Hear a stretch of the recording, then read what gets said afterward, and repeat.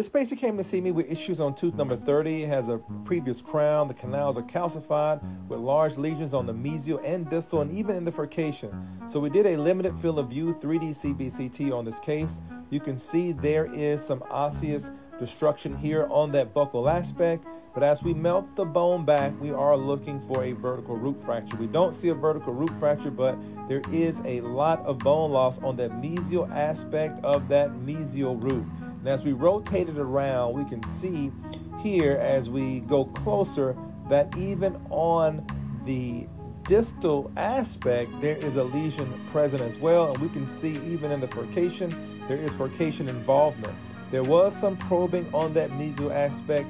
Probing was probably around about seven to eight millimeters. We were concerned about this case, so we tried to do the root canal in one visit. We couldn't because it was calcified. Notice the divot there.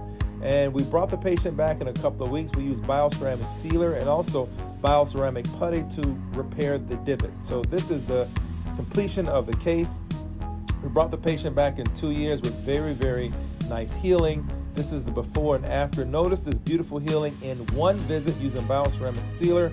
I'll talk more about this in my textbook, Endodontic Keys and Cases.